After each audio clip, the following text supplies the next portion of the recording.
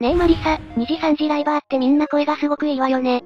そうだよな。かっこいい系から可愛い系までいろんな声質のライバーがいて聞いているだけでも楽しいよな。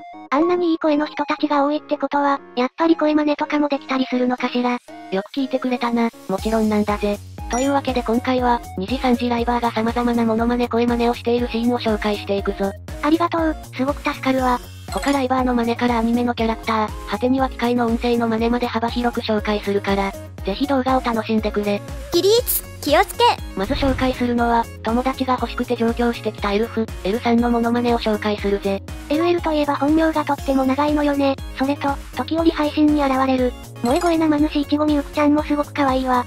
そういうところからも幅広い声が出せるライバーであることが伺えるよな。しかもただ声がいいだけじゃなくて歌も上手くて、ボーカルに特化したユニットレインドロップスでは、その素晴らしい歌声を聞くことができるぞ。声が良くて歌も上手いなんてライバーが転職かもしれないわね。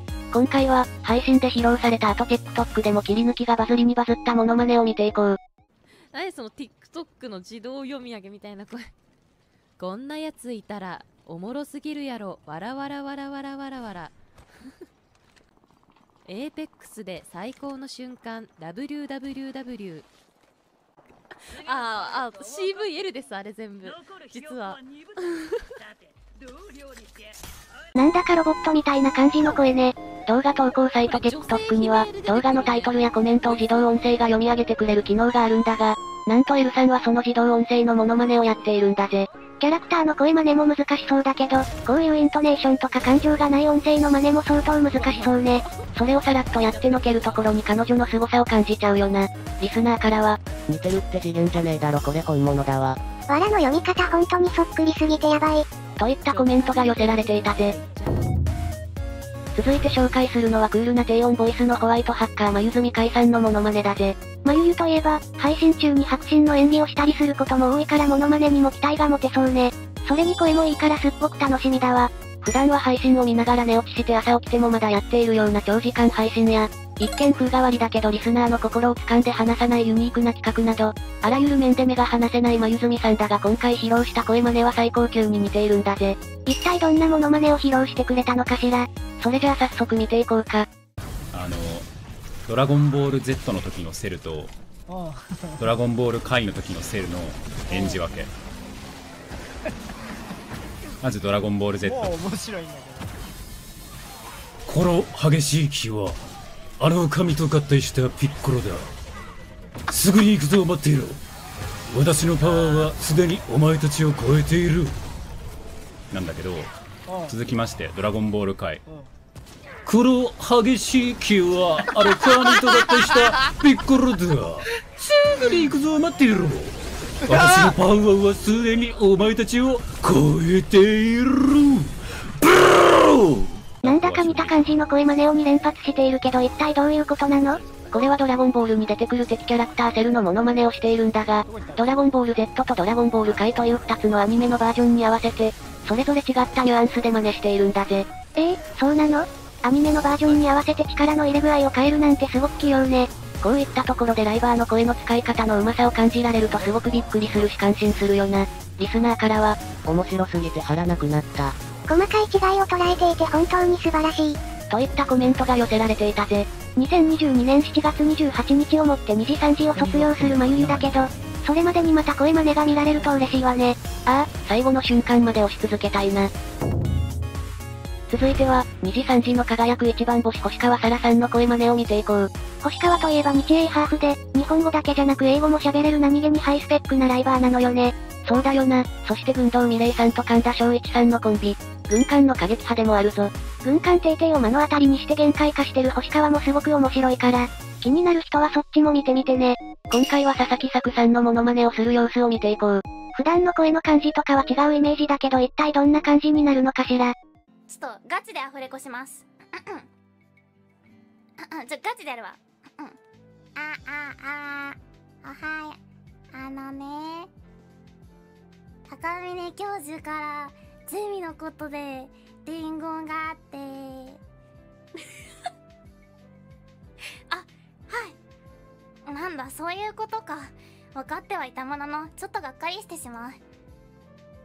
明日のゼミはディベートやるから必ずよが始まる。5分前には着席して待機してるように。だって すごくそっくりね。聞いていてびっくりしちゃったわ。そうだよな。それに、モノマネを始めた瞬間から少しずつ調整していって、最終的に完全に佐々木さんになっているのも、声合わせの正確さが伝わってきて驚かされるよな。星川がさきちゃんの声真似ができるってことは、さきちゃんも星川の声真似ができるのかしら。それについても後ほど紹介しようと思っているから楽しみにしていてくれ。リスナーからは、佐々木の声真似が似すぎてて本人かと思った。星川の配信開いたはずなのに間違えて佐々木の配信開いた、と思ったら星川で会ってた。といったコメントが寄せられていたぜ。続いては、先ほどの星川さんのモノマネ紹介の際に少し触れた佐々木作さんの声真似を見ていこう。さくちゃんの声真似についても見れるのね。さくちゃんといえば大昔にハコフグのモノマネとかはしてたけど、そ、そういえばそんなこともあったな。今回はハコフグの顔真似じゃなくて、他のライバーの声真似をしていくシーンを見ていこう。さっきレイムは星川さんが佐々木さんの真似ができるなら、その逆はどうなんだろうって言ってたよな。そうねすごく気になっているわ。というわけで、ここでは星川さんの声真似をしていく佐々木さんの様子を見ていこう。タラちゃんのねチューニングの仕方を気づいたの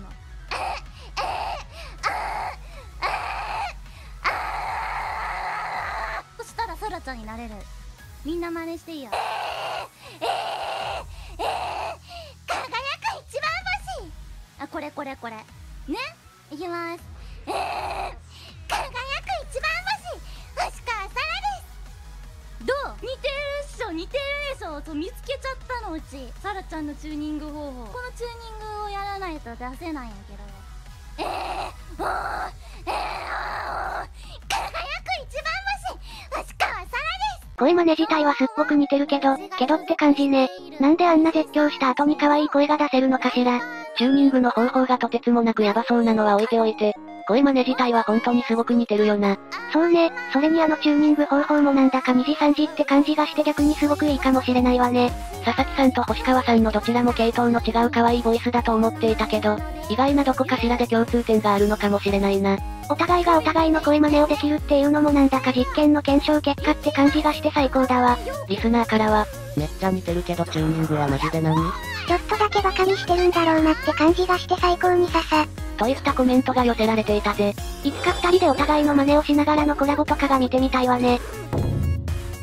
続いては、2時3時でトップレベルの人気を誇る甘神の狂犬、クズハさんの声真似を見ていこう。クズハくんといえばゲームがめちゃくちゃ上手かったり独特な言い回しやワードセンスがすごかったり、いかにも配信者って感じのライバーさんなのよね。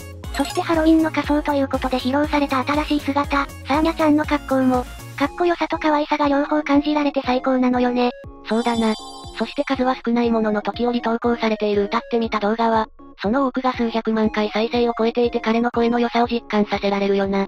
サーニャちゃんの姿に見合った女声も出そうと挑戦したりしているシーンもあって、声に対する意識の高さが感じられるわ。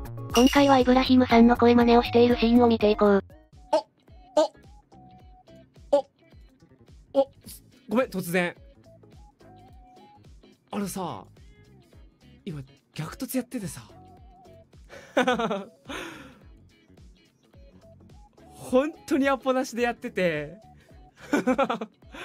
で、まだ音乗っけてないんだけど、音、いいっすか？じゃあ、えっ、ー、と、自己紹介お願いします。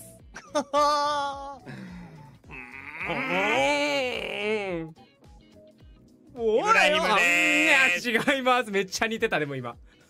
マジ？これは2時3時所属のライバークワミナトさんのチャンネル登録者50万人を記念した逆突配信だったんだが、初手の登場シーンから声真似をかましていくところに芸人魂を感じられて最高だよな。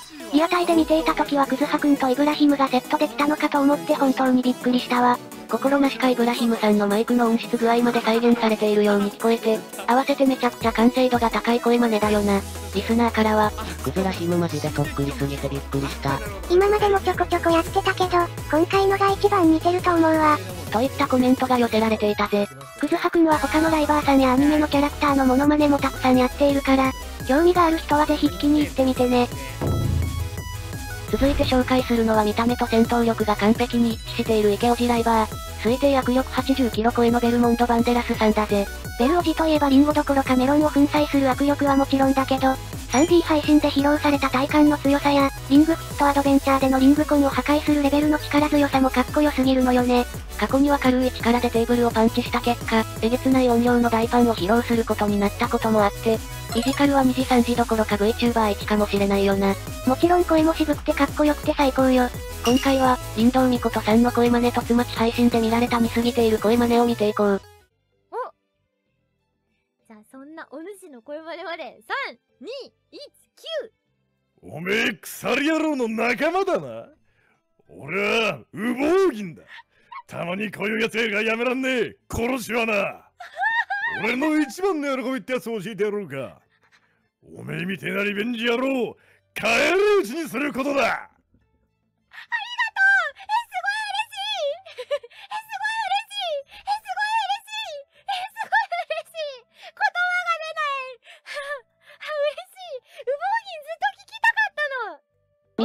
が場を繋ぐためにやっていたハンターハンターの主人公ゴンの声真似に合わせて、ベルモンドさんは敵キャラであるウボウギンの声真似をして登場するんだ。ミコト様のゴンの真似もだけど、ベルおじの声真似がそっくりすぎてテンションが限界突破しているわね。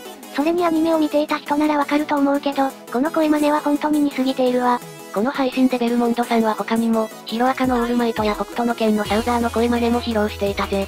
なんというか、ごつくて渋いキャラは全部できるんじゃないかって気がしてきたわ。リスナーからは、声帯が似てるだけじゃなくて声の特徴をつかむのが上手すぎるんだよな。こんなに大物声優の声真似できるとか声真似界の神か？といったコメントが寄せられていたぜ。続いては、青蓮女学院演劇同好会所属のライバー、朝比奈茜さんの声真似を見ていこう。アーコといえば、かなりの機械音痴な一面もあってゲームで位置を教えるのにリアルのディスプレイを指さしたり、マインクラフトを合計70購入してしまったりしてるのよね。でもそういうポンコツなところも可愛いわ。そうだよな。それに独特の言語感覚の持ち主で、配信枠での挨拶はバクポンチや、オツポンチと、なんだかよくわからないけど面白いって言葉を使うことが多いんだ。聞けば聞くほど彼女が何者なのかわからなくなってくるわね。でも歌は超一流で聞けば聞くほどその歌声に魅了されていくよな。今回は、そんな多彩な朝比奈さんが披露したお猿のジョージの声真似を見ていこう。今日は初めてマリオカートに乗る日果たしてジョージは上手に運転することができるでしょうか？やった！バナナ！あれれ？なのに間違って落としちゃったみたい。どうしよう。取りに帰らなきゃ。あでも行かないと。すごい！近道！なのに間違って落っこちちゃうなんて。それでも最後はバナナがゲットできて大喜びですジョージだけ、ナレーターだけじゃなくて、どっちもしっかりやっているのが最高に面白いわね。そうだよな。そしてしっかりと完成度が高いのも笑えるポイントなんだぜ。朝比奈さんはこの動画以外にも面白いショート動画をたくさん投稿しているから、興味が出てきた人はぜひ見てくれよな。リスナーからは、大好物のバナナに突っ込んでいくところ、モノマネの完成度がすごく高いですね。カーブ曲がるときに体が傾くの見てめちゃくちゃ解釈一致。といったコメントが寄せられていたぜ。これからも歌に声真似に、声を活かした様々な企画に挑戦してほしいわね。同じくセレーネ女学院演劇同好会のスオーサンゴさんが披露するカーナビのモノマネも最高に面白いから、この機会にぜひセットで見てくれ。続いては、バーチャル学級委員長付きの水戸さんのモノマネを見ていこう。委員長のモノマネやっぱり女騎士を捕まえたオークとか気持ち悪いおじさんとかのモノマネなのかしら。確かにそっちのイメージも強いけど、今回はもうちょっとまともなやつを紹介するぜ。なんだそうなのね。でもそっちのイメージが強すぎて何のモノマネをするのか想像がつかないわ。今回紹介するのは、女子高生である月の水戸さんらしいモノマネだぜ。JK らしさのあるモノマネって一体何なのかしらかなり昔からよく披露されているモノマネだから、リスナーのみんなもあれかなって予想しながら見てくれ。今回は2018年4月の JK 組コラボからモノマネを紹介するぞ。本当にかなり前から披露していたのね。それじゃあ早速見ていきましょう。あの、プリクラの中で指令を出す人いるじゃないですか。なんかピースしてとか。あれのモノマネ、あ、でも皆さんね、私の視聴者数、視聴者93%男性ですからちょっとわからない方が多いかと思うんですけど、ちょっとじゃあやらせていただきますね。はいうんえーっと、なんて言えばいいのかな？と、顎の下でピース !3、2、1。わあ、美味しそうなケーキ !3、2、1。打ち上げ花火だよたまやー !3、2、1。わかりますよ。わかります？ま、まるっきりじゃないですか。